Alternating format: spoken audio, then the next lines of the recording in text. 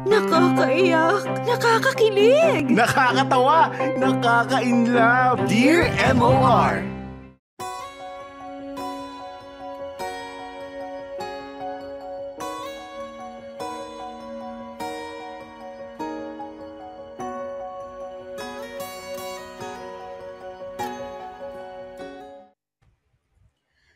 Dear MOR, Hello there, Popoy at Bea. Itago niyo na lang ako sa pangalang Aika. I'm in my 30s at napasulat ako sa inyo kasi I'm in this difficult situation right now. It's not something I can't handle naman, pero gusto ko na lang ding i-share kasi for sure marami ang makaka-relate sa story ko. At naghahanap lang din siguro ako ng pwede kong uh, mapagkunan ng suporta at inspirasyon. May nakilala kasi akong lalaki na bukod tangi nagpatibok ng puso ko. I met Anton in a friend's party. Pinakilala kami sa isa't isa ng common friend namin. At wala kaming ibang tao kinausap buong party. It was a connection at first sight. Matangkad si Anton. Lean, malinis, at mabango, at maganda manamit. Type na type ko siya. At swerte na ako rin ang tipuhan niya sa babae. Hindi ako matangkad. Medyo malaman ako, pero hourglass shape naman ang katawan ko. Medyo singkit ang mga mata ko kahit wala naman kaming lahing incheck o Japanese o Korean. Long story short, Anton and I liked each other very much. At naging kami officially after a couple of months of dating. At tumagal kami ng ilang taon bago eventually nag-propose sa akin si Anton. Papoy at Bea, masasabi kong ako yung tipo ng babae na strong and independent. Meaning, I have a career of my own. Wala akong problema with financing myself. At alam ko kung ano yung magpapasaya sa akin. And Anton was like a male version of me. Alam din niya kung ano yung gusto niya sa buhay. We help and support each other, pero at the same time, may kanya-kanya din kaming opinion. And sometimes, nakakatulong yung ganon. Pero may time din na hindi. Lalo na nga kapag meron kaming gustong mangyari na hindi swak sa opinyon ng isa't isa.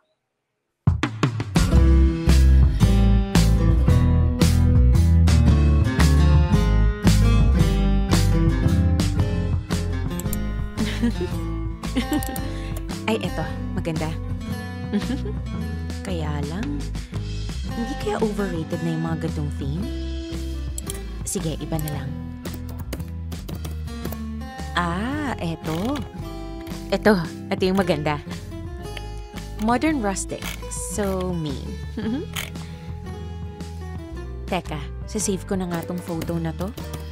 Um, alin pa kaya rito? Hey, babe. Uy, hi babe. Aga mo ah. Eh, maaga natapos yung meeting ko eh. Ano nga palang ginagawa mo? Sinong kausap mo, ha? Pangising-isi ka dyan sa computer mo. Sira. O ayan, tignan mo oh. Naghahanap na ako ng peg para sa wedding natin. Tingin? Eto oh. Look, look. Oh, that's nice. Nice talaga. Nako, babe. I will make sure na maramdaman ng mga guests natin yung feeling na as if napunta na sila ng ibang mundo. Gets? no, seryoso ako. Dapat mukhang hindi sa Pinas. Peg ko mukhang New Zealand or Italy. Gets? Bonggang garden, may view, magandang flowers, and of course, hindi putyo-putyong stage at saka sound system. At kung ano-ano pa. It has to look and feel magical. Gets mo ba, babe?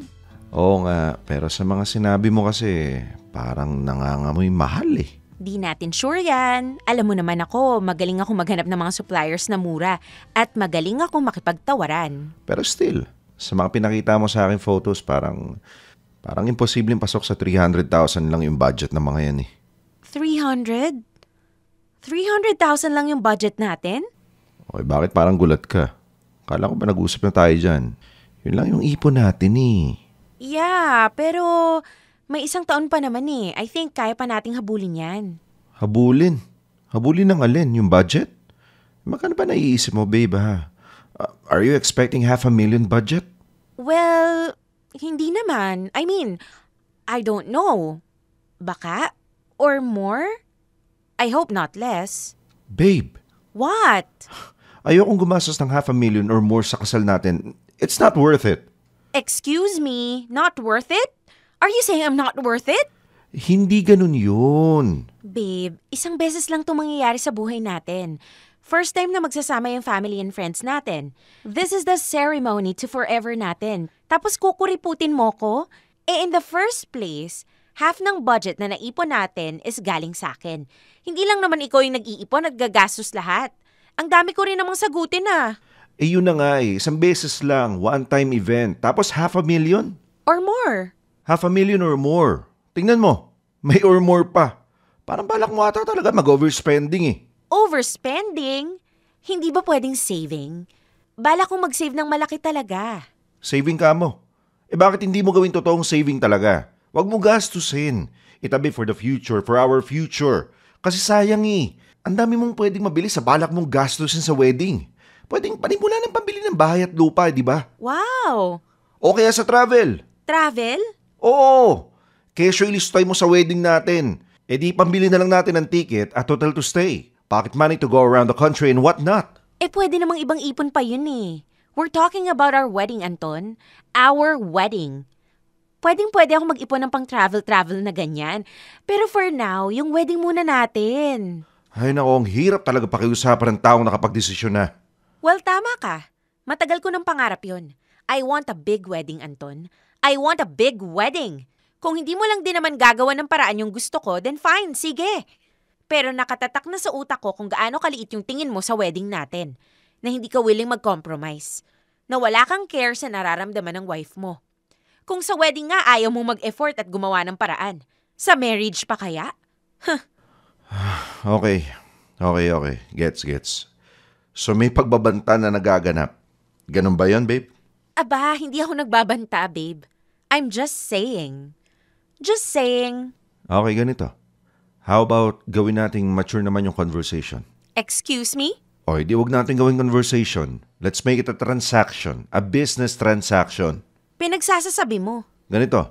Compromise sabi mo, hindi ba ako? Sige, let's compromise. Saan mo naman dadalhin to? Makinig ka lang. Sige, go. Ganito. Okay, sige. I accept yung challenge na tataasan ng quota ng budget natin for the wedding. O sige, mag-e-effort ako na marating yung expectations mo. Hopes, not expectations. My hopes for us. Okay, fine. Hopes. Mag-e-effort akong marating yung hopes mo para sa wedding natin sa isang simpleng kondisyon. Kondisyon? Anong kondisyon? Pagbigyan mo na ako sa matagal ko nang hiling sa'yo. Which is... Which is tigil-tigilan mo na yung pagiging Instagram model. Ha? Ano ka mo? Itigil mo na kaka-expose at post ng mga bikini photos mo. Mga revealing na damit. Itigil mo na rin yung pag-flex ng mga gamit mo. Mga binibili, mga pinupuntahan. Please, babe. Stop pretending to be a socialite. Tama na yung pagiging mayabang. Ha? Babe, matagal ko nang sinasabi sa'yo.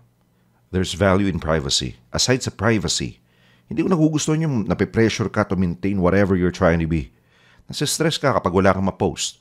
Kapag konti yung likes. Tapos na-obsess ka sa mga kung sino-sino pina-follow mo. I mean, delikadong social media ngayon. At nadadamay pa ako. Hala, hala, hala siya. Babe, I'm serious. Kapag ginawa mo maglaylo sa social media, gawin mong private at magpakatotoo ka, then I will consider adding more budget sa wedding natin. oh, anong nakakatawa doon? Seryoso ako. Well, una sa lahat, Anton, yung mga photos ko na revealing para sa'yo eh made out of artistic intentions. Hindi kahalayan. Kasi pag tinignan mo yung mga followers ko, may mga class, hindi yung mga manyak. Next, yung pag-flex ko sa sinasabi mo, I'm not flexing the material things itself. I'm flexing the fact na I work hard for my money. Kaya I have every right to buy whatever hell I want. Kahit yung iba doon, regalo ko naman. Ayaw mong fineflex kung nireregaluhan ako ng boyfriend soon-to-be husband ko? At hindi ako nagyayabang. I'm actually encouraging people to do their best in life para ma-achieve nila yung mga gusto nila sa buhay. Wow, what a nice twist. At ano yung sinasabi mong nadadamay ka? Pati privacy ko nadadamay. Okay, sige. Yun matatanggap ko yun. At ang naisip kong paraan, hindi na kita isasama sa social handles ko. Hindi na kita itatag at higit sa lahat, hindi ko na rin ipapakita yung mukha mo. Gusto mo, burahin ko na lahat ng post ko na may kinalaman sa'yo? Ano? Call? Ay, Aika, Aika, Aika. Oh, ano? Ayaw mo talaga magpatalo, no? Ay bakit? May laban ka ba? Hindi pa nga ako nakikipagtalo sa lagay na to eh. Hmm, sige, sure. Pero my offer stands. If you want more budget sa wedding, linisin mo yung social media handles mo. Linisin? Bakit? Ang dumi-dumi ba? Ang kalat-kalat. Lapagan mo muna ako ng extra budget. At saka ko na pag-iisipan yung general cleaning na sinasabi mo. Total, ginagawa mo naman tong business proposal, di ba? Then do your part first, before I do mine.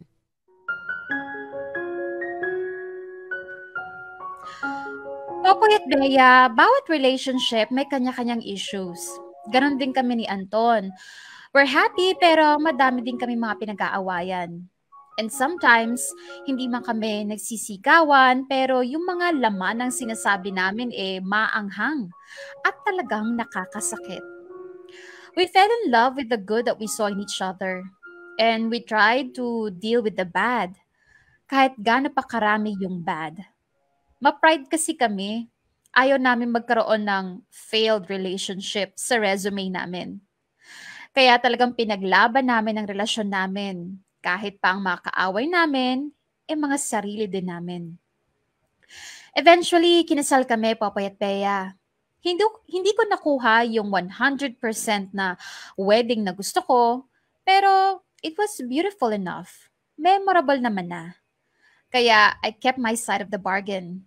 Binawasan ko yung mga feeling ni Anton eh pretentious post ko sa social media. Yung mga hindi daw realistic masyado sa pananaw niya. Hindi na rin ako nag-caption ng mga mukhang nagyayabang, gaya ng sabi ni Anton. At higit sa lahat, ginawa kong private yung accounts ko. Goodbye na daw sa pagiging trying hard social media influencer ko. At tinry ko na lang mag-focus sa pagiging wife and eventually pagiging mother sa anak namin ni Anton.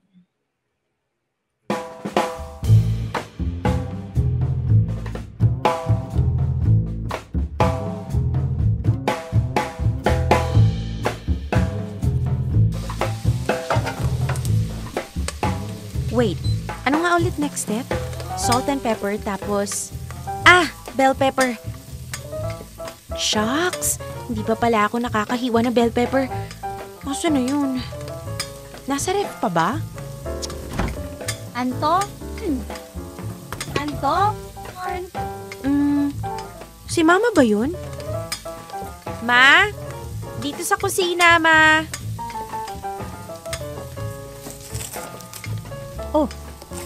Anong ginagawa mo? Ah, may niluluto lang po. Oh, nice. You're attempting to cook. Opo, slowly but surely. Well, andito ako. Siyempre, para silipin ang apo ko. Oh, hello there, baby. Hello, my little angel. Sino good boy? Good boy yan. Oh, yes. Good boy ang baby namin. Miss Lola? You miss your Lola? mamaya play-play tayo, ha? Ay, cute ka talaga ng apo ko. Anyway, asan si Anton? Naliligo pa po. May pasok po siya eh. Ah, okay. Eh, di sige. Sa'yo ko na lang sasabihin. Ay, ano po yun, ma? Ganito. Medyo madami-dami to. Kaya pakilista na lang, ha? Ano po ba yun, ma? Una, baka pwedeng pakitanggal na yung mga halaman sa tapat ng bahay nyo. Yung malapit sa gate. Po? Eh kasi may biniling bagong sasakyan tong tita ni Anton. Makikiparada dito sa atin kasi walang parking yung bahay nila. Eh, doon lang naman sa kabilang kanto yun. So, dito paparada sa compound natin. Eh, ang laking espasyo kinakain ng ano mo? Ano ba tawag doon? Mini garden? Um, opo. O ayun, tanggalin mo yun ha. Ang laking istorbo. Tapos sabihin mo kay Anton, yung pinapapinturahan kong kwarto, hindi pa rin niya nagagawa. Aba, ang laking pabor ang binigay ko sa kanya. Napatirahin kayo dito sa bahay na to. Tapos, simpleng request ko, eh, ang tagal-tagal niyang gawin. Sabihan mo siya, ha? Opo, ma. Sabihin mo kapag hindi niya nagawa yung pinapagawa ko, maghanap na lang siya ng ibang titirhan. Tutal, yung kapatid ko sa ibang bansa, eh, nagbabalak na umuwi. Pabor sa aking mabakante to. Sige po, ma. Sasabihin ko po. Okay, yun lang. Ay, teka, ay ka. Kapag naglinis kayo, idamay niyo tong screen door o etong papuntang laundry area. Dumi-dumi. Alam mo, sa lahat sa atin na nakatira dito sa compound, itong bahay niyo ni Anton ang kamadumi sa totoo lang. Tuwing pumupunta ako dito, inaatake ako ng allergy sa sobrang alikabok. S- sorry po, ma. Nako, ayusin niyo paglilinis. Kawawa apo ko. Kung ako na-allergy, eh paano pa yung apo ko na pagkalit-lit pa? Nako, kapag yan nagkasakit sa baga o sa kung saan man, kasalanan niyo. Yes po, ma. Ayusin niyo, ha? Opo, ma. Matagal pa ba yung si Anton? Um, halos kakapasok lang po niya ng banyo nung dumating kayo eh. Ay, Diyos me. Sampung taon pa yan. Sabihin mo na lang, dumaan sa bahay ko bago siya umalis. Kamo, ha? Opo, ma. Sige, alis na ako. Maglinis kayo. Yung mga nakaman mo, ha? Sabihan mo sa Anton. Opo, ma. Ay, my God. Ang ganda-ganda sana ng umpisa ng araw ko eh. Pero bigla namang nasira. Lalagyan ko na nga lang ng ibang clock yung pintuan namin, Diyos me.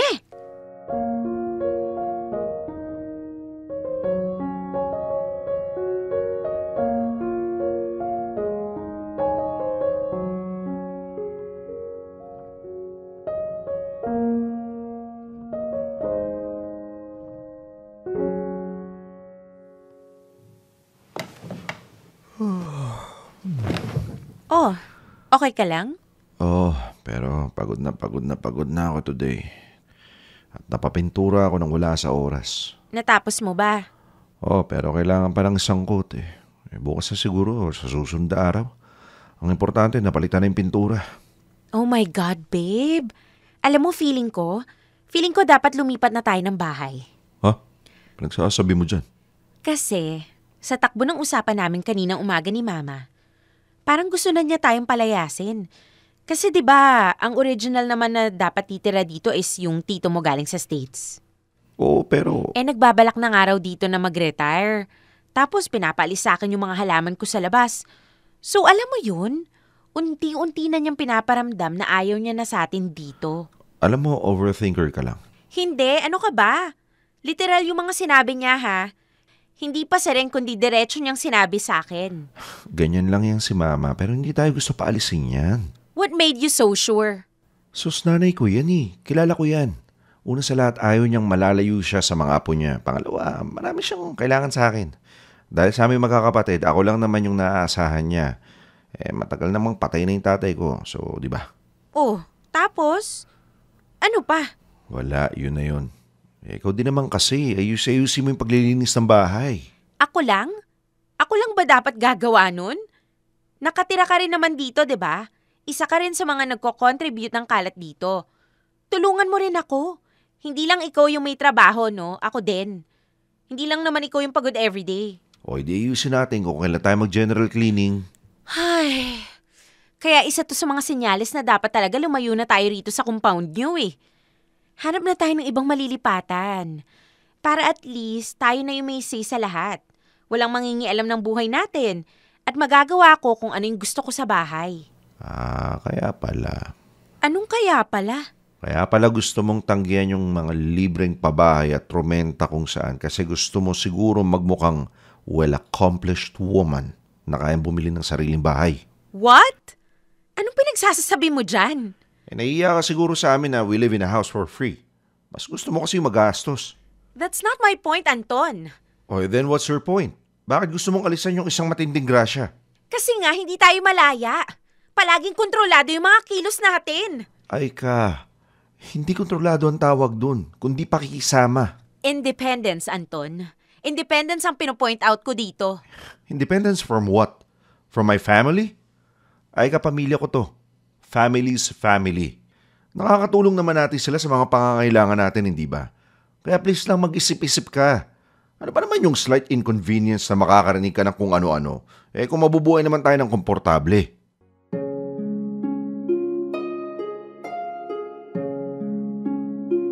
Popoy at Bea, one of the things I hate kay Anton ay yung pagiging super attached niya sa pamilya niya. As in, never pumasok sa isip niya yung salitang bumukod. As much as possible, doon dapat kami sa madali, komportable, at convenient. Kahit pa matake for granted na yung personal decision making namin pagdating sa sarili naming pamilya.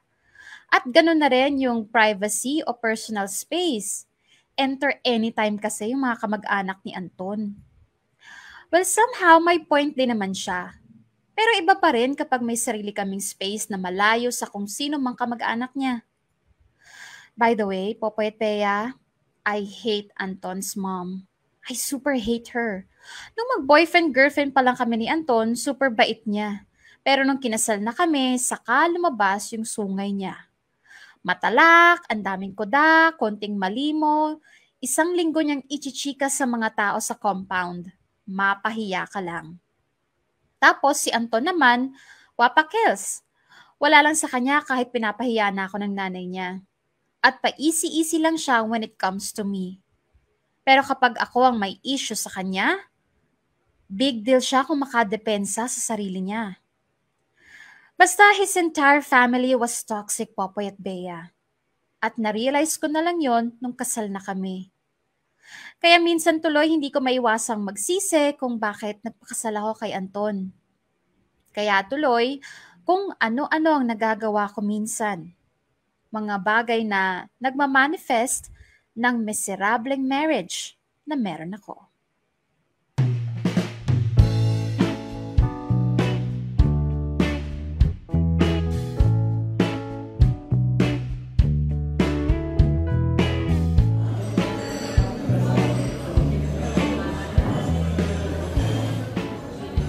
My God, girl. Buti na lang at nagkaroon ka na rin ng time para kitain ako. Hindi ko na matandaan kung kailan tayo huling lumabas para kumain, magkape, magchismisan. Nako girl, I'm really sorry talaga. Ilang beses na ako nag-cancel sa'yo, di ba? Oo, isa pa yun. Ewan ko ba? Para kasi yung ilalakwatsa ko, eh, i-spend time ko na lang with Jiru. O kaya itutulog ko. Kaya ang ending, trabaho anak, trabaho anak na lang ako. Gusto ko yung trabaho, anak, pero wala na mention na asawa. Well, edi asawa on the side. Grabe ka! Para mo namang sinabing, eme na lang ang asawa mo sa buhay mo. Ang sabihin mo, ako ang eme na lang sa buhay niya. Anong ibig mong sabihin? Siya rin naman kasi ganun. Puro trabaho. Uuwi makikipaglaro sandali kay Jiro. Tapos matutulog na. Hindi nga niya nagagawang magpaligo ng anak niya eh. Ay, legit? Legit! Ganon. Hindi naman kayo ganyan dati. Ewan ko ba? Ayoko namang sisihin yung baby namin, di ba? Oo naman. Pero ever since nagpakasal kami, ang dami-daming nagbago, like super. Chinat ko yun sa'yo, di ba? Last time. Yeah, tanda ko yun. So, are you saying na hindi ka happy sa marriage mo? What I'm saying is, nagtataka ako bakit ganito yung marriage ko. Hindi dapat ganito eh. Sabi na eh. Dapat nag-live-in kayo bago nagpakasal. Asus! Advocate ka lang talaga ng live-in, no? Tingin mo, lalabas lahat ng issues na to kapag nag-live-in muna kami? Malay mo. Feeling ko, hindi rin. Meron lang talagang nangyaring hindi ko sure kung ano. First year ng kasal namin, okay naman eh. Pero itong second year, my God, disaster! Alam mo, Oo, oo, oo. Ano yung ngiti na yan? Parang may masama ka na namang binabala ka. tingnan mo muna ako, Gaga. Ano nga? Bakit pa tayo nasa ganitong posh na restaurant? Kung pwede naman tayo sa isang hidden bar restaurant. Ay, Marisa, Buong araw ka namang pinayagan, di ba? I have to come home by 10. 11 a.m. pa lang. Ano ba naman ang konting wine? Lunch break is the new happy hour. Alam mo ba yun? No! We, Maris, one glass lang. talaga? One glass lang? As if, Buti alam mo. no. Ay, oo, oo na yan. Maris, ayokong umuwi ng lasing. 3 p.m. titigil na tayo. Bababa ang tama. Maaamoy ako. Dinner sa Samgyup. Tapos, laklakin mo yung mainit na free soup nila. My God ka talagang bruha ka. Minsan lang. Ako ba? Let's go na girl! Girl,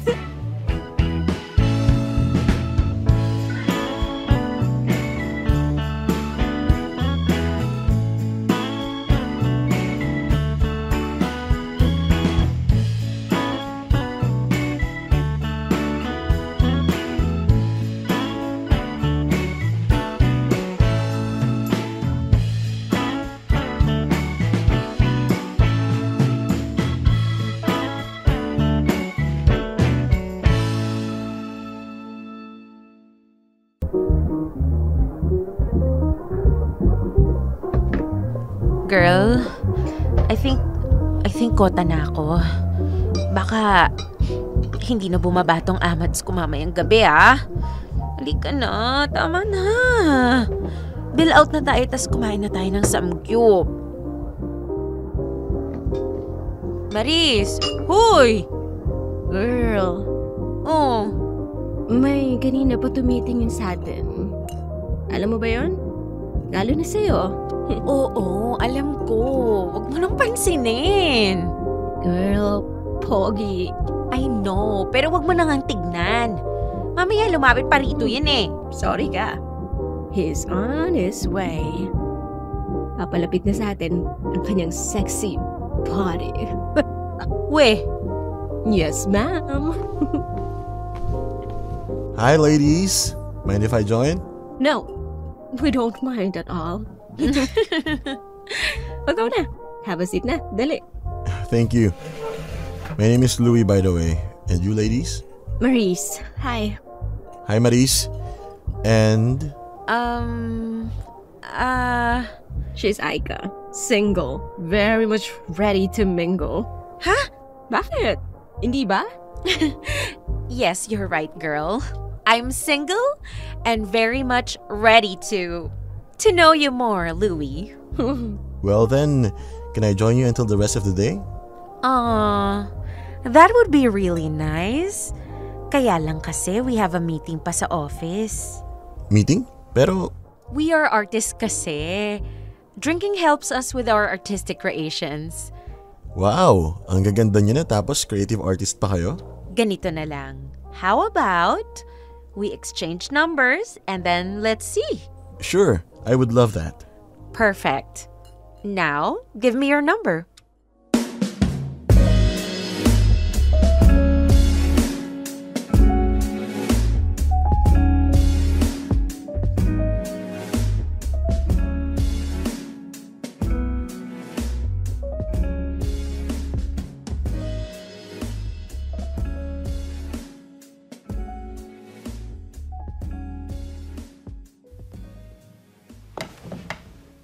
Aika.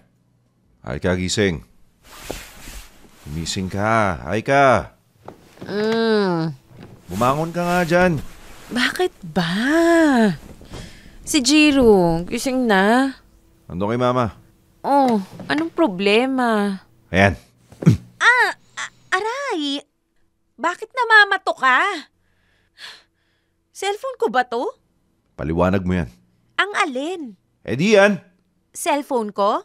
Huwag mo akong pinipiloso po ha. Dahil konti na lang, papatulan na talaga kita. Wait, Anton, ha? Ano bang... Ano bang sinasabi mo, ha? Yang nagme-message sa'yo. Sino yung Louie na yan? Oh, shoot. Ah, binigay ko yung totoong number ko. O ano? Um, teka lang, Anton, ha? Alam mo yung kakagising ko lang tapos ito kaagad yung bungad mo sa akin? Wala akong pake. Paliwanag mo yan. Isa. Teka, ano ba sabi? Basahin mo na. Sige na. Hi, Aika. Did you get home safe? Hope to see you soon. Ah, Ano ka ba naman, Anton? This is just, ano, a random guy na pinagtitripan ni Maris. Si Maris yung kinakausap, pero yung gaga, number ko yung binigay.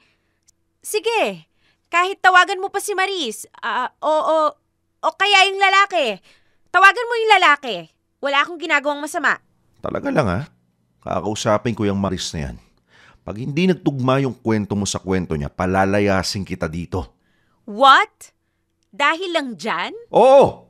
At saka teka nga, nangingialam ka na ng phone ngayon? Hindi yun ang issue dito! Well, total naman pinapakialaman mo yung cellphone ko. Oh, patingin na rin yung cellphone mo. Huwag mo kang binabago yung usapan. Papasa mo pa talaga sa akin? Sinagot ko na yung tanong mo, di ba? Pinaliwanag ko na kung ano yung kababalaghang nakita mo sa phone ko, di ba? Eh total, kinakalkal mo yung phone ko, eh di pakalkal din nung sayo. Nice try, Aika. Pero hindi tayo alis sa'yo. Ikaw at yung kalukuhan mo yung bida sa araw na to, naiintindihan mo? Alam mo, maniniwala ako sa mga palusot mo? Akin na nga yung phone mo. Oh, ano na namang gagawin mo? Eh di tatawagan ko si Maris. Tignan natin kung masasalba ka ng best friend mong malandi.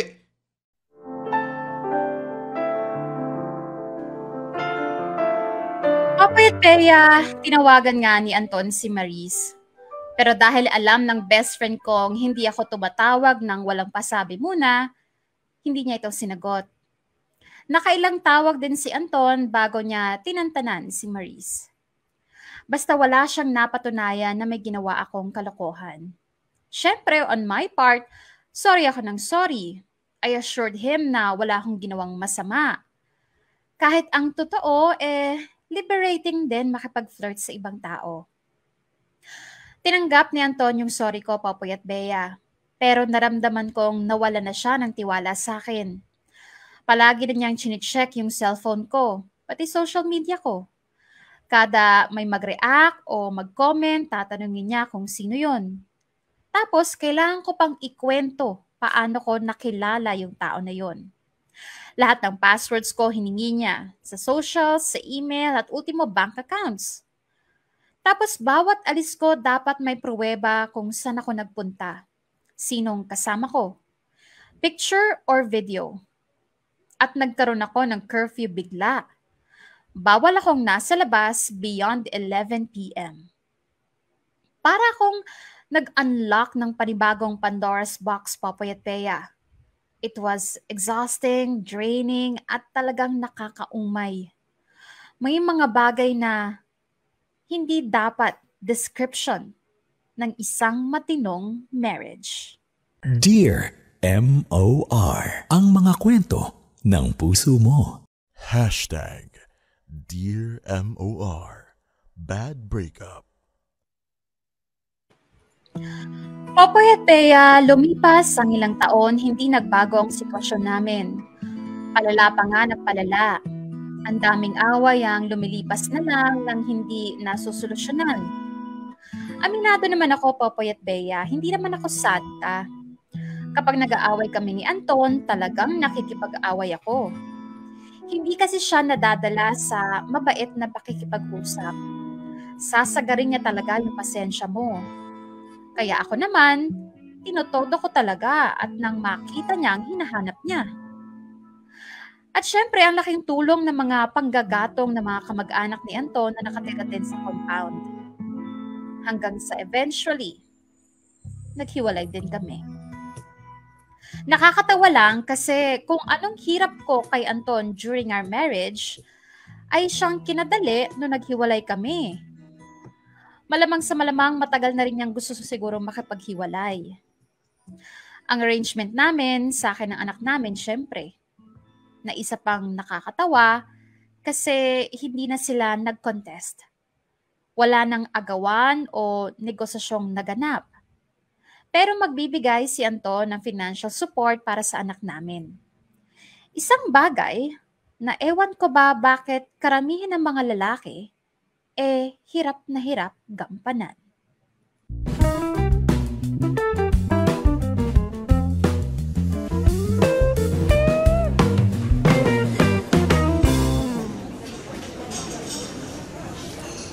Asa na ba yung lalaking yun? Anong oras na? Usapan 3pm. Mag-aalas 4 na. Kahit kailan talaga.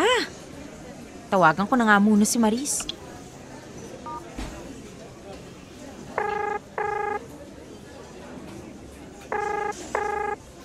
Hello?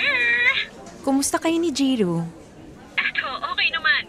Nanonood siya ng cartoon habang kumakain ng pizza. Huwag mong bibigyan ng ice cream yan, ha? Oo na nga. Kilala kasi kita. Konting iyak lang ni Jiro sa'yo, bibigay ka na. Hindi nga. Ay, teka. Tapos na kayo mag-meeting ni Anton. Anong tapos na? Hindi pa nga kami nag-uumpisa eh. Wala pa nga ang gago. Late na naman as usual. Late? Oo, nananadya. Ay naku, ewan ko sa kanya. O basta, kumalma ka ha. Be the bigger person. Pairasin ang ganda at hindi ang pagkamaldita. Speaking, ayan na siya. Sige na, tawag na lang ako ulit kapag pauwi na ako. Okay, ingat ka. Kalmahan mo lang ha. Try ko. Sige na, bye. Hey, ah, sorry late ako. Daming kailangan gawin eh. Sorry. Um, sure. Some things never change pa rin talaga. I'm sorry? Hindi, wala. Sabi ko, let's start na. Ah, Okay, sige. Um, so, anong pag-uusapan natin? Well, wala naman tayong ibang pag-uusapan kundi si Jiro. O, anong problema? Hindi ka nakabigay ng allowance para sa kanya last month. Ha? Really? Ang alam ko, nagbigay ako. Nag-send nga ako ng screenshot ng bank deposit, di ba? Okay, ganito. Anong buwan na ngayon? August, di ba? Today is August 9. Ang bigay ng allowance for Jiro is every 15th. Nag-send ka ng allowance July 2. Pero hindi para sa month ng July yon. Sobrang late mo na nga nagbigay para sa month ng June eh. Inabot na ng July. Tapos wala ka ng pinadala for July itself. Gets? Unfair naman nun. Excuse me? Dapat kung anong month ko na send sa'yo, counted na for that month. Well, kung ganun ang gusto mo, edi sige. May nabigay ka for the month of July pero wala kang nabigay for the month of June. Kaya, may utang ka pa rin sa akin. Wow, iba ka rin talaga. Ano? Malulusot mo, malulusot mo eh, no? What the hell are you saying, Anton? Ah, sige, fine. Ihabol ko yung isa para sa July or sa June, whatever. At ipapaalala ko na rin pala yung sa August. Malapit na yung August 15. Iba, iba talaga. Ano bang problema mo? Wala naman. Medyo hindi lang nagustuhan ng tenga ko yung sinabi mong may utang pa ako sa'yo. Bakit? Totoo naman ah. Ako yung nag-aabono ng dapat sana responsibilidad mo. Hoy, di ba responsibilidad mo na rin yun? Anak mo rin si Jiro, di ba? So bakit ako magkakautang? Ay! Anton, magkano lang ba yung feeling mong pinapadala mo, ha? 30,000 a month? Anton, 10k lang yung binibigay mo sa anak mo. Pambili ng milk niya, snacks, baon sa school at pamasahe sa paghatid at sundo. Hanggang saan ba ang feeling mo mararating ng 10k mo? Yung tinitirhan niya, yung kinakain niya sa bahay, yung mga kailangan niya sa pang-araw-araw, akong may sagot nun. Sa tuition nga, hati pa tayo, di ba? Tapos yung pag-aalaga, pagbabantay at atensyon, lahat sa akin galing. Minamalit mo ba yung binibigay ko? Hoy, di sige. Suluhin mo na lahat. Kung ganyan lang din naman. Ulul! Tapos ano, ha? Wala kang gagawin? Gago ka ba? You know what? Hindi talaga kita maintindihan. Nanunumbat ka? Or baka gusto mo lang taasan ko yung binibigay ko sa'yo? Kasi honestly, ano bang alam ko kung napupunta o hindi sa anak ko yung binibigay ko, di ba? Ay, ilusyonado ka yata, Anton. Una sa lahat, hindi na ako umaasang may cake ka pa para itaas yung sustentong binibigay mo. Pangalawa, kulang pa nga sa anak mo yung mga binibigay mo eh. Tapos feeling mo kukunin ko pa. Hello, Anton! Nasa Earth ka ba? Either nasa ibang dimension yung utak mo o nagpapalusot ka lang para hindi ka magbayad ng kulang mo. Alam mo, ang hirap manalo sa'yo, no? Ayaw mo talaga magpatalo. Kaya tayo naghiwalay. Hindi ka talaga mananalo sa akin dahil ako naman kasi talaga yung nagsasabi ng totoo. At Diyos me, Anton, huwag mo akong umpisahan sa rason kung bakit tayo naghiwalay. Marami akong pwedeng i-enumerate sa'yo at wala doon ang dahil sa ayaw kong magpatalo. Fine! Fine! Sasabay ko na lang sa akin sa yung kulang kong buwan. Ayan, okay na. Yan, ganyan. Kung kanina mo pa kasi tinanggap yung pagkakamali mo, edi sana maayos tong pag-uusap natin. Hindi yung kung ano-ano pa yung sinisingit mong walang katuturan. Pero may isa akong kondisyon. Ay, wow talaga tong lalaking to. O ano? Ano na namang baseless condition ang gusto mo? Gusto ko ng itemized list ng pinagagamitan mo ng perang pinapadala ko. Yung may resibo. My God! Para fair. Para fair? Ha? Para fair? Peace of mind para sa akin. Para panatag ako sa anak ko na pupunta lahat. Diyos mio, parang walang pandinig tong lalaking to eh. Either bingi o ang hina ng comprehension. Ano sabi mo? Wala. Ang sabi ko, sige bibigyan kita ng listahan at mga resibo. Saksak ko sa ngalang-alam mo. O ano? Okay na ba tayo ha? Tandaan mo ha, doble sa 15. Oo na. Teka, order lang ako ng kape. At hindi na kita tatanungin kung gusto mo kasi kung gusto mo ng kape, kanina ka pa bumili habang hinihintay ako. My God, Anton. Ano kayang nangyari sa'yo? Ang tinutinu mo dati. Dati?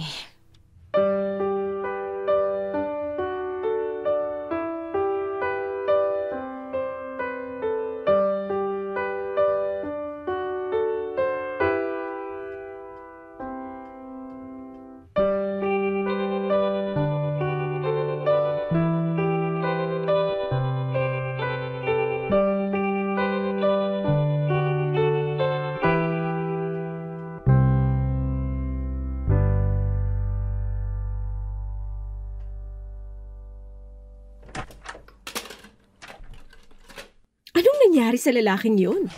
Yan din ang tanong ko eh. Parang may sapak na hindi mo maintindihan. Ay, ikaw rin pala. Oh, anong ako?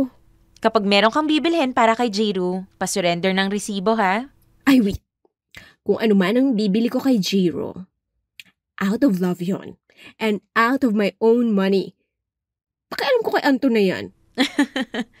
Kung pwede ko lang sabihin na wala na akong pakialam kay Anton. Kaso tatay siya ng anak ko eh. So, Eh sabi ko naman sa'yo, nyakang-nyaka na natin pala kayo si Jiro. at ano? Magbuhay binata si Anton at walang responsibilidad? Asa, sa lahat ng problemang binigay niya sa akin, hindi pwedeng ako lang yung maghirap sa anak ko. Kailangan mag-contribute din siya, kahit konti. Ang importante, mas stress din siya gaya ng stress ko.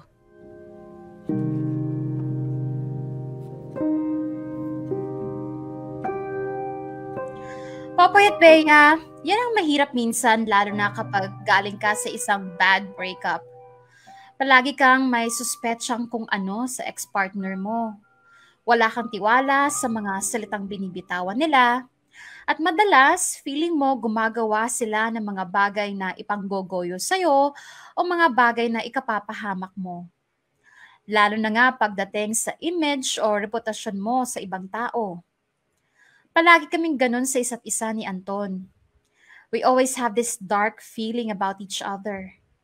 Eh kasi naman, napakahirap niyang co-parent. At bawat usap namin, hindi na nawawala yung pagiging pilosopo niya. Well, eventually, naintindihan ko na kung bakit ganun na lang ang pakikitungo sa akin ni Anton. Kasi Popoy at Bea, mahahalata at mahahalata mo talaga kapag ka guilty ang isang tao.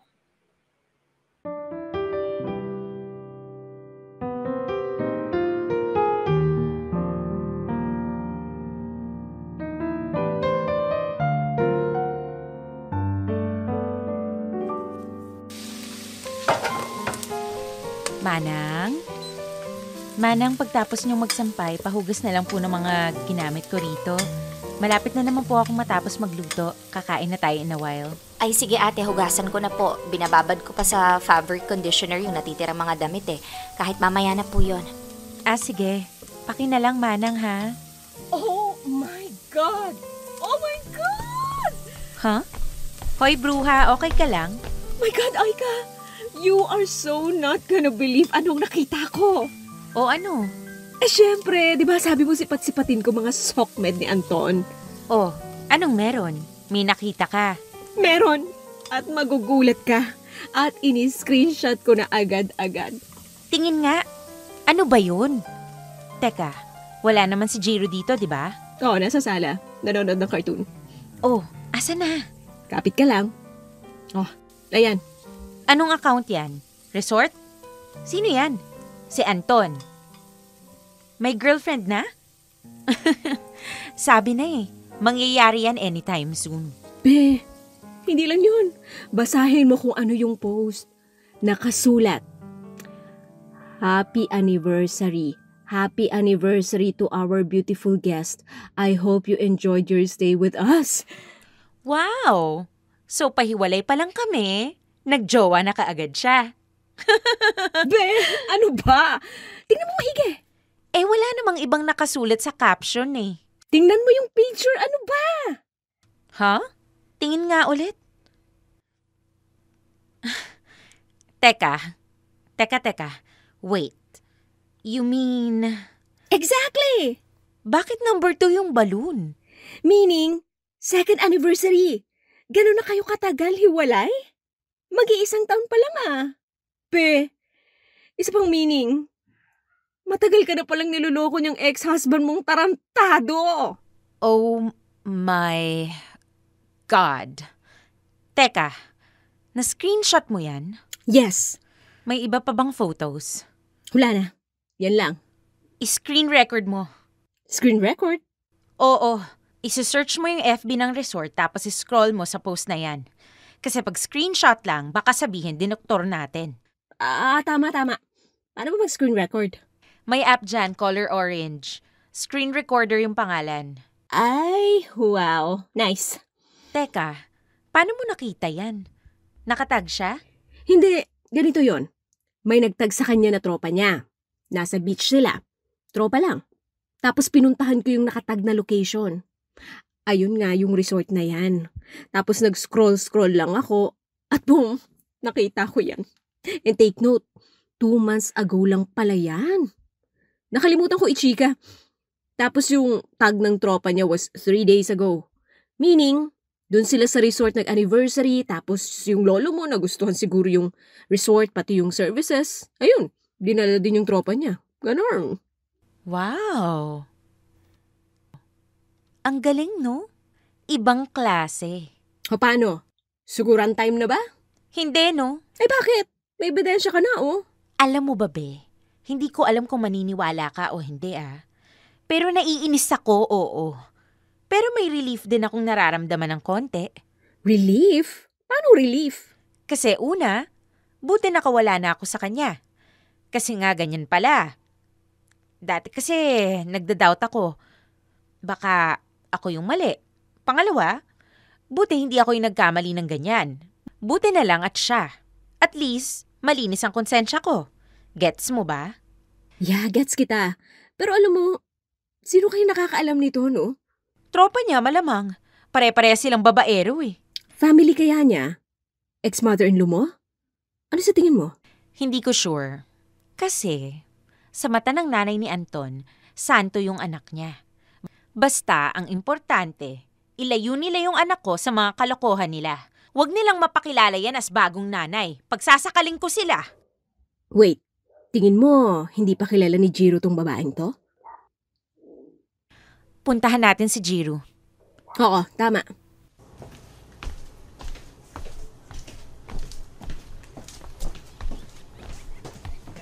Jiro? Anak? Nak? Mama? Nak, may itatanong si Mama ha? Po? Asa na yung picture? Ito, ito. Nak, um, do you know this girl right here? Yung kasama ng papa mo, Jiro. Yes, Mama. That's Tita Angel. Anak ng berhing pating na yan, no? Sinasabi ko na nga ba? Nak, when did you meet her? I can't remember Mama eh. Where did you meet her? In the house. In the house? The house of your papa?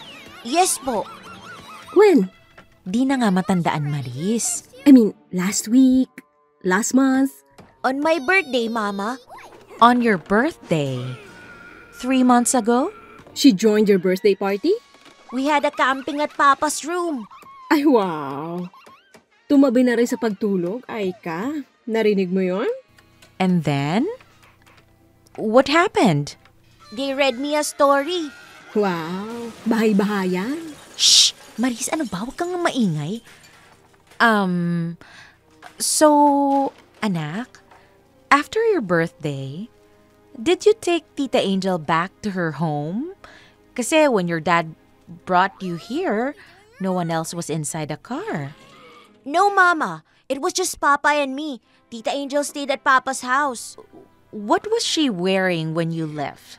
Ano pa yung pinagtatanong mo? Pati suot ni ating curious ka? Hindi, gaga. Gusto ko lang malaman kung nag-overnight lang ba yung babae o baka mamaya doon na nakatira. Dahil pagdating kay Anton, nothing is impossible. Eh, diretsuin mo na yung anak mo. Huh? Jiro, baby. Is Tita Angel living with your dad? Huy! Her clothes? Where are her clothes? Cabinet or bag? Alam mo ikaw? Do you remember? Mm, Mama's cabinet. What? nakita mo na? Kung hindi ko pa dinaretso, baka next month mo pa malaman ang totoo. My God! Um, Nak, don't tell Papa we ask you, ha? Yes, Mama. Promise? Promise.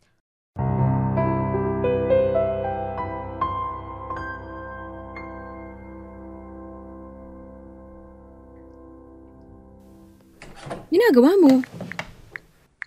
Parang nakabusangot ka dyan. Ano pa? E di magpo-post sa Facebook. Uy, gaga ka. Pipigilan mo ako? Siyempre hindi.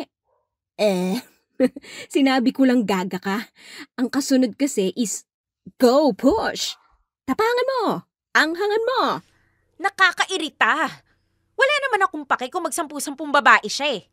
Pero wag niya munang ipakilala sa anak ko. Tapos magkukunwari silang happy family. Sabi ko nga sa'yo, di ba? Huwag nilang ipapakita sa anak ko yung mga kalokohan nila. Guguluhin nila yung utak ng bata eh. So, anong caption mo? Siyempre, yung lady boss kong photo na kinunan mo kahapon. Aha. Caption ko is, As far as I know, Catholic marriage is for two people, not three. Eh! Well, bahala na mga SOCMED friends kung gumawa ng theory about that. I'm sure, uusok ang puwet ni Anton. Ay, for sure yon. Ready ka na? Oo naman, no? Siya ang nagkamali at hindi ako.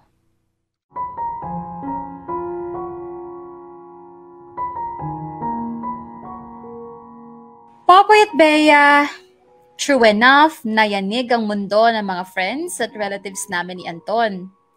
Sandamak nga kang nag-react sa post ko at binahan ng PM yung messenger ko. Siyempre, todo react din ng mga kampon ni Anton. Pero take note, no comment si Anton at yung kirida niya. Ang talagang maingay ay yung nanay ni Anton at yung mga kamag-anak pa nila sa compound. O di ba? Ginawa pa ni Anton na attack dog yung nanay niya. If I know si Anton na nagfe-feed sa nanay niya kung anong pagbubunga ang gagawin. Pero wapakels ako. Hindi ko dinelete yung post ko. Bagkus, nag-like and heart pa ako ng mga comment na kamping-kampi sa akin. Popoy at Bea, I know it's not healthy to post about your personal problems, lalo na mga relationship issues. Pero hello, deserve ni Anton ng ma-expose sa pinaggagawa niya. Yun na lang ang ganti ko sa panloloko niya sa akin. Dahil naniniwala akong may mga tao naman talagang deserve ang konting pamamahiya.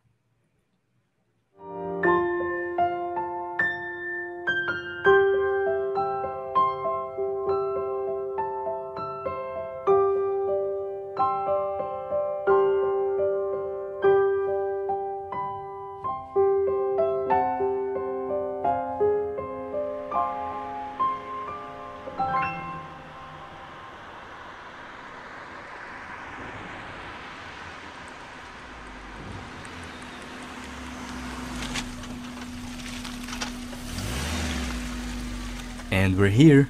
Again, thank you so much, Zed. I really had a great time. Me too. I'm so happy to finally meet you. Ang tagal-tagal ko nang kinukulit si Maris eh. Oo nga eh. Ang tagal-tagal na rin yung sinasabi na may papakilala daw siya sa akin. Pero wala pa kasi akong time. Ngayon-ngayon lang. Anyway, sige, pasok na ako ah. Oh, wait. Let me get the door for you. Hindi, hindi okay lang. I got this. Um, pagod ka na ba? Hmm? I mean, nag-dinner tayo and dessert pero hindi pa tayo nagka-coffee or tea. Are you asking me kung pwede kang pumasok sa bahay? Well, if, um, if okay lang. I mean, pwede rin naman kahit dito na lang sa kotse or dyan sa may gate nyo. Papadeliver na lang ako ng coffee. Tapos papadeliver na rin ako ng kahit ano para sa mga tao sa loob ng bahay nyo. Malay mo, baka gusto ni Jiro ng pizza. Aw, thank you, Zed. Kaya lang, I think what we did tonight is enough. First date pa lang natin, huy. At marami pang date ang lilipas bago ko magkaroon ng karapatang pumasok sa bahay ko. Hindi sa pagmamayabang or what, ha? Mm, No, I totally understand. Super. Uh, gets na gets ko yan. You have nothing to worry about. Pero, ibig sabihin, kasado na yung second date natin? May sinabi ako? Sabi mo kasi, maraming dates pa ang kailangan bago ako magkaroon ng chance para makapasok sa bahay nyo. Ah, I mean, to anyone na makakadate ko. Ah, ganun.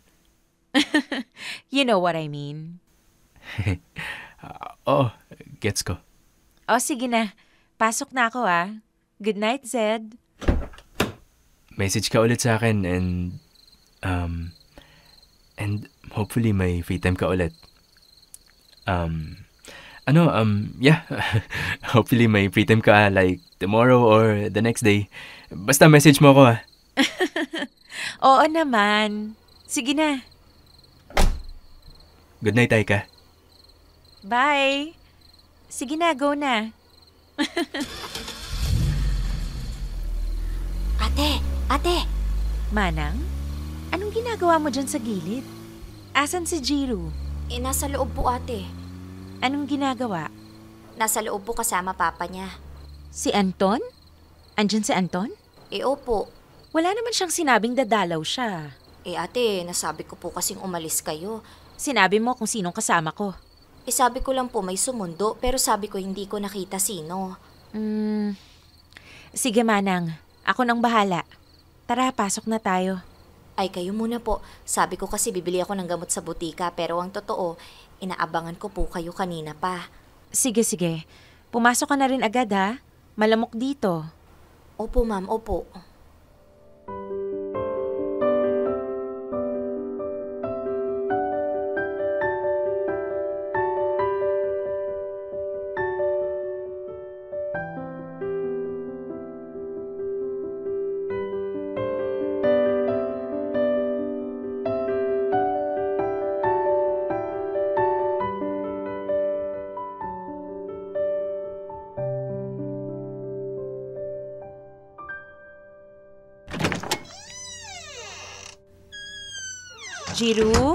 Mama's home. Mama! Mm. Mwah. Mwah. Teka, parang bedtime mo na dapat ah. 10 p.m. na oh. Well, ang tagal kasing dumating ng nanay niya, so? Nak, akyat ka muna sa taas. Get ready for bed na ha. Maghilamos ka na and toothbrush. Then, wait for us there, okay? Papa will just say goodnight later, ha? Okay, Mama. Sige, akyat na. Di ka nagpasabing bibisita ka. Ah, bakit? Nahuli ba kita? Nahuli? Nahuling ano? Na umalis ka pala at nakikipag-date kung kani-kanino? Anton, una sa lahat, wala akong pake kung malaman mong umalis ako at pumunta ako sa kung saan ko gusto. Sa kung sino yung kasama ko. That's my life, not yours. Medyo na-bother lang ako nung pumupunta ka na lang ng walang abiso. Siyempre, I'm concerned for my son. Baka kasi gumawa ka ng plano kasama siya nang hindi ako kinukonsulta. Gets? It's not about leaving the house. It's about you coming here unannounced and uninvited. Ah, talaga? Oo naman. Ba't ako magigilty? I mean, nothing wrong with that. At sino ka ba? Well, buti na lang pala at bumisita ako. Para nalaman ko kaagad yung ginagawa mo. Okay, here we go. At ano na naman kayang kasaltikan ang nabuo sa isipan ng ex-husband ko? Okay, Anton. Push. Lapag mo yan. Ay ka, seryoso ako. Hindi ako nakikipagbiron sa'yo. Oo nga. Let's hear it. I don't think na tama yung nakikipag-date ka na agad sa iba. Excuse me? Una sa lahat, kababae mong tao. Ano? Pangalawa, sa'yo nakatira yung anak ko. Huwag mong madadala-dala dito yung lalaki mo ha. Huwag mong ipapakilala sa anak ko nang hindi ko nalalaman. Wow! Iba rin! Seryoso ako, Aika. Coming talaga from my cheating husband na nag-uwi na ng babae niya sa bahay niya. I mean, bahay pala ng parents niya. At nagpapakilala sa kirida niya sa anak ko na walang pasabi sa akin. Coming from you talaga, ha? Sabi ko nga sa'yo, magkaiba tayo ng sitwasyon. Wala naman sa poder ko yung anak ko. Eh, nasa iyo, di ba? Kaya kung meron man sa atin ang mas nakakaapekto sa anak natin, ikaw yun. Yung mga kilos mo, mga desisyon mo sa buhay. Lahat yun, apektado yung anak ko. Kasi nga nasa iyo. Wow, Anton! You really never fail to amaze me with your philosophy in life, ano? Paano mo nabubuo yung mga ganyang kaisipan? Amazing! O bakit? Mali ba yung sinabi ko? Yung kay Angel, walang kaso yun kasi isang beses sa isang linggo lang nakikita ni Jiro yung tao na yon. Pero pag ikaw for sure, sobrang dalas dito nung lalaki mo. At baka ma-impluensyahan pa yung anak ko. Or worse, baka dito mo papatirahin at baka kung anong gawing masama sa anak ko. Naiintindihan mo ba? Tsaka bakit ka ba natatawa? I'm trying na nakikipag-usap sa'yo ng matino. You think nakakatulong yung patawa-tawa mo? Ay, you're so immature, alam mo yun? eh kasi naman, Anton, sobrang nakakatawa yung pinagsasasabi mo. Like, takot ka ba sa sarili mong multo? Tingin mo ba gagawin ko yung mga pinaggagagawa mo, ha? Takot ka bang tumira din dito yung magiging boyfriend ko? Takot ka bang may makilalang ibang tatay yung anak mo?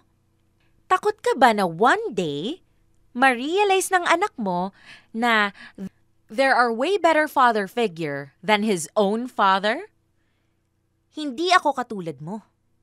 Hindi ako basta magpapapasok ng ibang tao sa pamamahay ko at lalong-lalo na sa buhay ng anak ko. E nagbago na ako. Mas matinik na ako sa pagka-quality check ng mga taong nakikilala ko.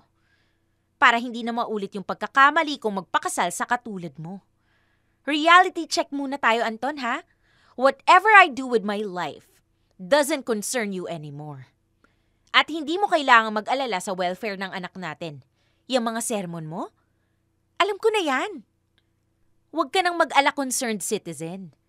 Dahil we both know I am more capable, sane, and healthy parent than you are.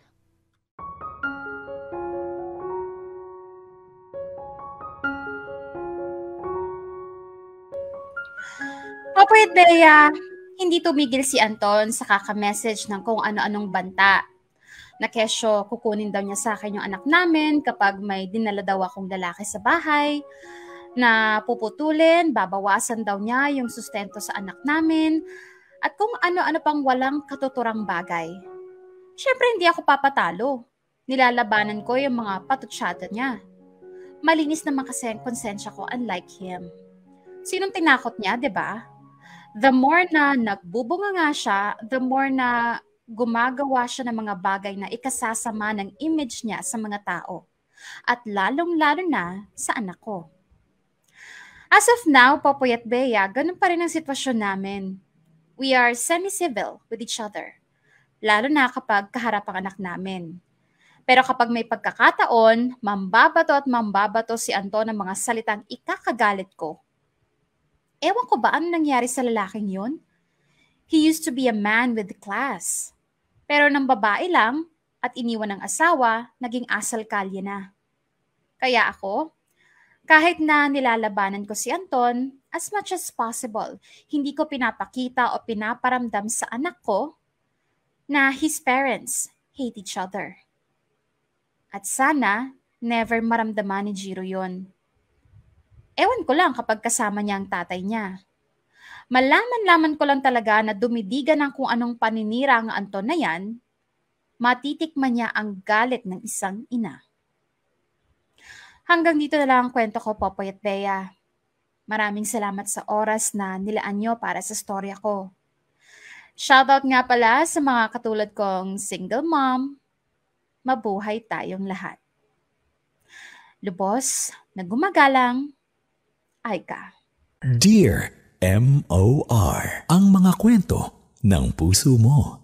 Hashtag Dear M.O.R. Bad Breakup.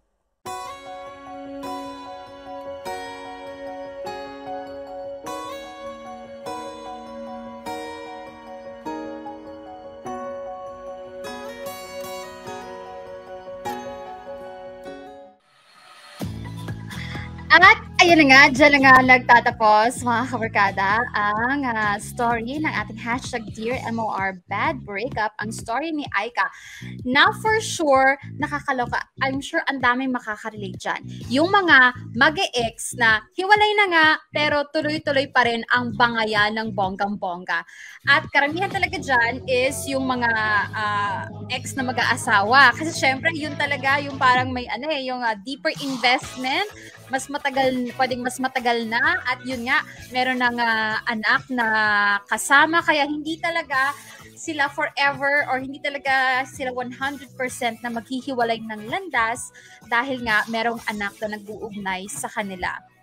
And you know what mga kamarkada, I'm sure dyan sa comment section, ang dami yung nakaka-relate dyan, na alam mo yung hiwalay na kayo ng ex mo, pero tuloy-tuloy pa rin yung banggaan na ninyo. Let's say for, eto, eto nga, yung mga example ng bad breakup. Kapag ka naghiwalay kayo na hindi civil, kalmado yung paghihiwalay nyo, kundi punong-puno pa rin ng ah, sagutan, awayan, sakitan, that could be one. Another example ng bad breakup is yung cheating nga.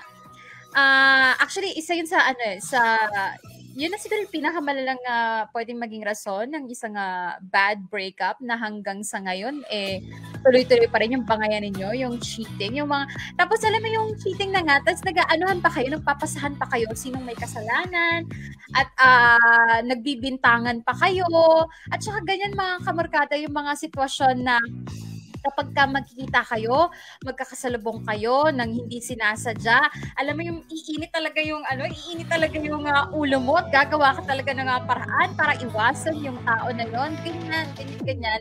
Ang ah, isang sitwasyon kapag ka nauwi kayo sa isang ah, bad breakup.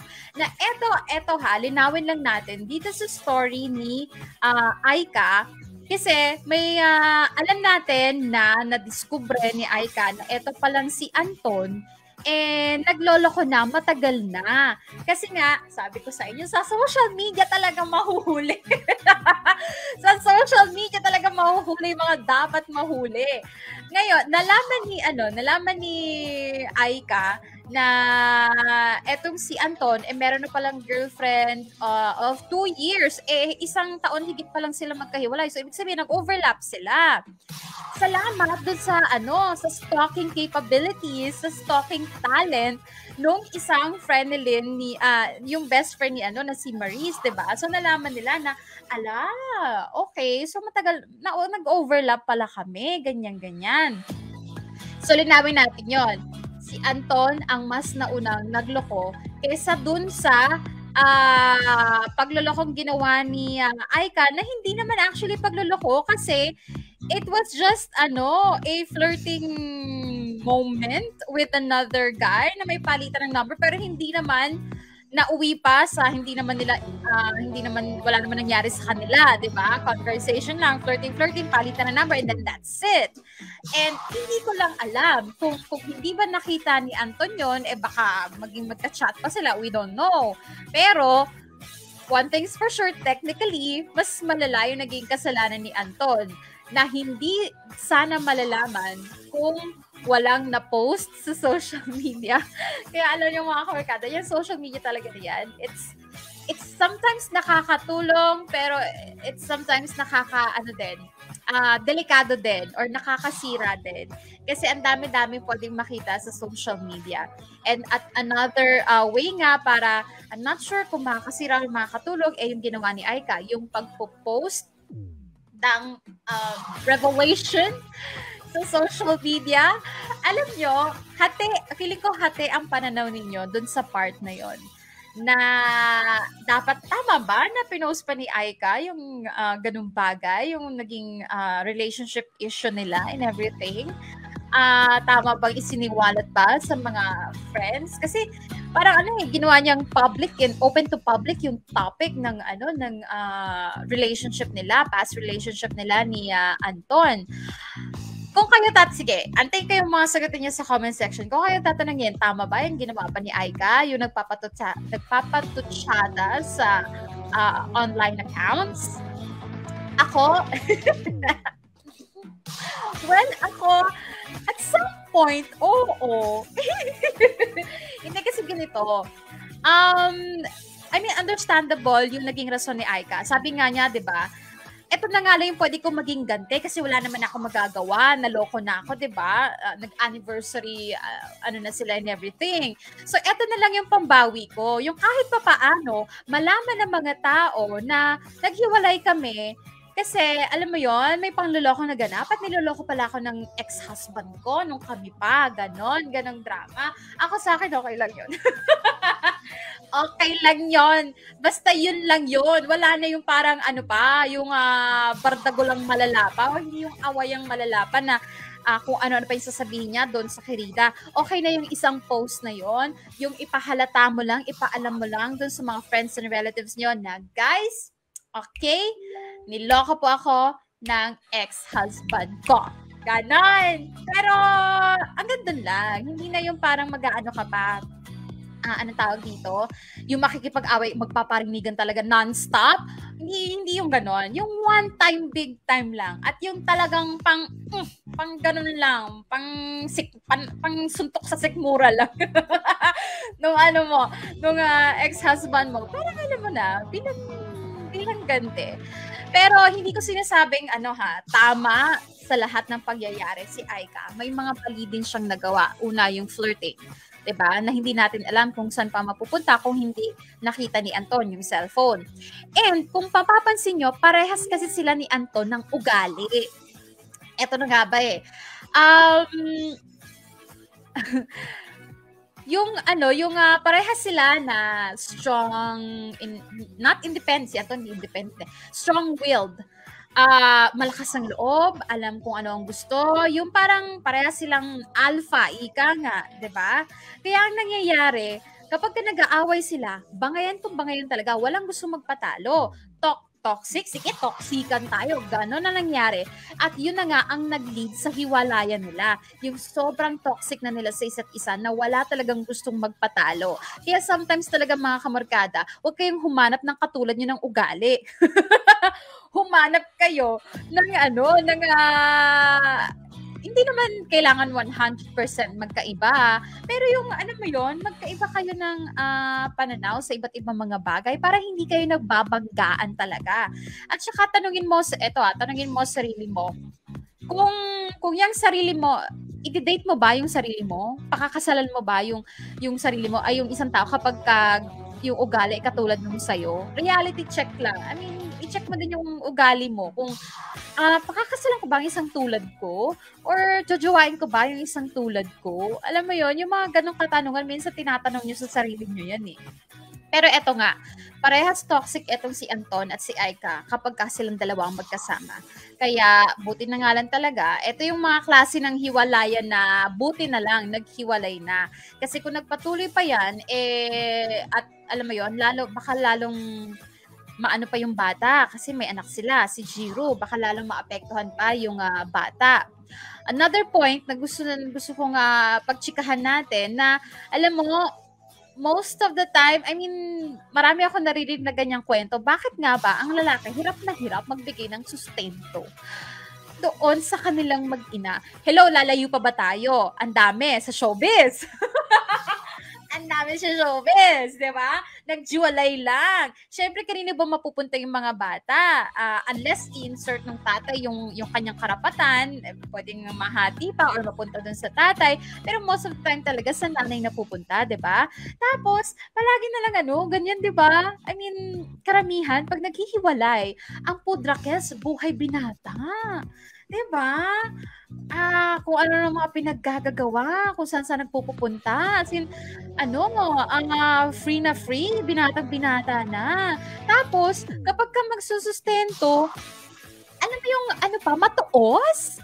Like, ano pa sila, sigurista pa sila na, oh, etong ibibigay ko sa'yo, siguraduhin mo sa Junana kay ko mapupunta, ganyan-ganyan, na parang wala kang karapatang ano ah, gumastos ng kahit ano dyan para sa'yo, ha? Ultimo kahit yung tisyong ipapahid mo sa mukha mo, hindi pwedeng pera ko, ha? May mga, ganyan, may mga ganyan, no? Yung talagang, uh, eto, si Anton na lang humingi pa ng resibo. Wow! May para-reimburse na magaganap, humingi pa ng paresibo ang loko para daw sigurado para sigurado na uh, sa anak mapupunta yung uh, anong tawag dito? Yung uh, sustento. Speaking, andito yung anak ko, nakakaloka. Oo, baby, dyan ka lang, no? Nasaan yung bantay mo? Oo, dyan ka lang, baby. Tapos, ah, uh, ano ba yung chika ko?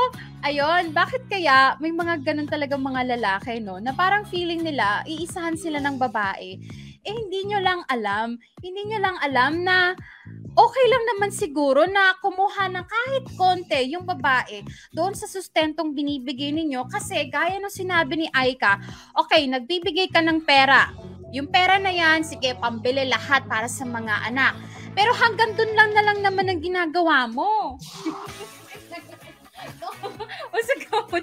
hanggang doon lang naman ang ginagawa mo. Yung uh, yung uh, pag-aasikaso, pagpapaligo, pag-entertain, lalo na kung maliliit pa yung mga bata, yung effort sa paghahatid. Basta alam mo yung physical effort talaga ng hands-on na pag-aalaga. Ang hirap-hirap kaya nun. Tapos gusto mo kung ano lang yung perang ibibigay mo, dapat sakto doon lang sa Junana kayo. Huwag kayong ganun. Alam mo, ang hirap kapag ka, tinan mo nga lang ngayon, nasa ni anak ko. tinan mo nga lang ngayon, di ba? Ang, ang, ay nako mga kamorkada, I'm telling you, mahirap mag-alaga ng bata kahit isa lang yan, dalawa, tatlo. Mahirap at hindi sapat yung magbibigay ka lang ng pera, ng sustento. Kailangan maranasan mo paano talaga humawak ng bata at maranasan mo yung uh, yung yung stress. yung stress ng, alam mo yon pag-aalaga ng uh, isang bata. Kaya sana wag kayong ganyan mga, lalo na sa mga kalalakihan na. Wag niyong uh, i anong tawag dito, wag niyong ipagmamalaki na nagbibigay ako ng pera, 'di ba? Ginagampanan ko yung papel ng isang tatay. Excuse me. Ginagampanan mo lang yung isa sa mga papel ng uh, isang tatay. Isa pa lang 'yan kung gusto mo talaga maging tunay na tatay, you have to be present and you have to actually take care of your child. Alam mo yon? Actually, it goes both ways. Mapa babae, mapa, ah, mapa nanay, mapa tatay. Hindi lang sapat yung magbibigay ka lang ng pera. Kailangan alagaan mo yung anak mo. Kailangan maranasan mo talaga yung uh, yung hirap. Kaya huwag kayong masyadong magmalaki na hindi porket nagbibigay kayo ng sustento ng pera, kala nyo the best parent na kayo. No. Okay? Wag wag ganoon. Hindi natatapos sa sustento lang yung uh, responsibilidad nyo bilang uh, magulang. Okay? I know, di ba? I know, ngayong pangalan, di ba? Nag chumichika ako dito pero hindi ko alam saan na nagsuot yung Junana cake ko. Nakakaloka.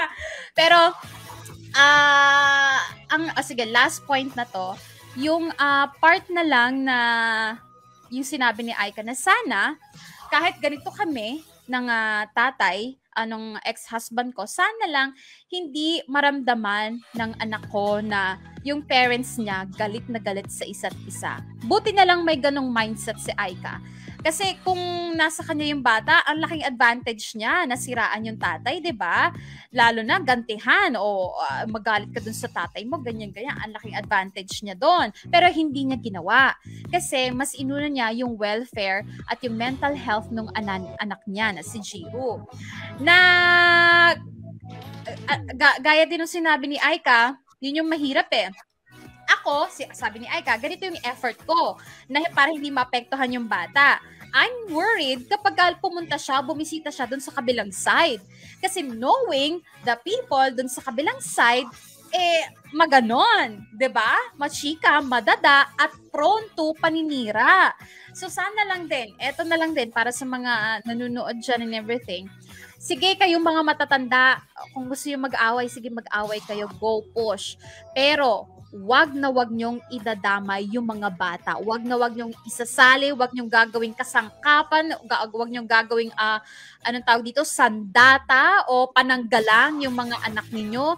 Kasi yung mga problema ninyo, yung mga matatanda, yung mga problema nyo, sa inyo yan eh. Okay? Wag nyong idamay yung anak ninyo kasi masisira ang buhay ng anak niyo, I'm telling you. Kapag ka pinaramdam nyo dun sa bata na, okay, anak, may war sa pagitan ng mga magulang mo, kanino ka kakampi? O, yun yung mahirap eh. Kaya, please, mag-away kayo, sige, kung hanggat gusto nyo, pero wag na wag niyong idadama yung mga anak ninyo, okay? Lalo na kayong mga nanggaling sa hashtag Dear MOR Bad Breakup.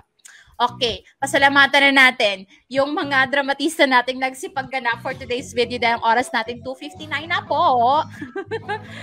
maraming maraming uh, salamat Jamie Rubio. Bilang uh, Aika, si uh, Anton, ginampanan ni Jag Kamat, si Maris, oy, DJ Bettina Briones, maraming maraming salamat Ma'am Shi. At yung matalak na mudra ni Anton, si DJ Jackie Gian, at si Manang, si Cindy Basena tayo dyan, si Louie, oh, Dad Capuchon, si Zed naman, Warley Alagaw, at ang na-stress po ng very, very slight sa pagtanggap ng letter na ite. Charot. Ako po ang na nagsulat at ang nag-edit, syempre, si Joko Loco. Ayan. Thank you, thank you so much. And of course, maraming salamat din sa inyo mga kamarkada na sumama sa akin hanggang sa mga oras nito. Sa comment section, nababasa ko yung mga sinasabi nyo. Kaya lang, wala tayong oras para magbardagulan. Oo, pero pero uh, thank you, thank you so much for uh, joining uh, me kahit mag-isa ako. Bawi tayo bukas, for sure. Tapos na si Popoy sa mga inasikaso niyang lupain. Okay, so that's it for today's video. Wow! thank you, thank you so much mga kamarkada guys. Sinasabi ni Popeye, please you stay safe, stay healthy, uy, and stay in love and happy. See you tomorrow. Bye-bye.